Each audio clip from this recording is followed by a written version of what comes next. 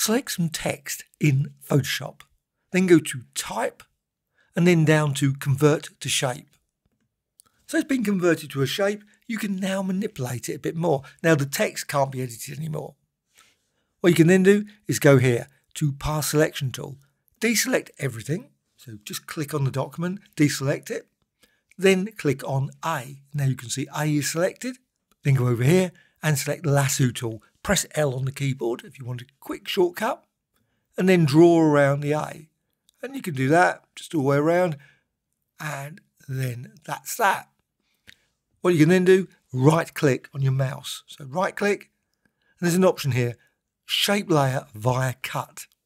Select that, and then you can see now you've got A in a layer. And you can repeat this. So go back here to the B, ABC. This time I'm going to select this. Again, the path selection tool. Select that. The B is now selected. And with that, I can go back to the lasso tool and draw around that instead. And let's just go around and obviously, now you could obviously repeat this if you've got 50 or 100 letters.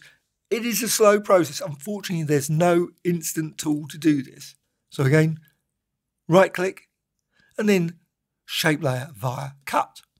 And you can see then you've got A, B and C. Obviously, you don't have to now do C. So select and deselect. All separated means you can go over here to the move tool and you can select each of those and you can reposition them. And then you can go over here and say, you know what, I want different colour. So way I do it quite often, custom shape tool, select that, click here and then click here and set the colour.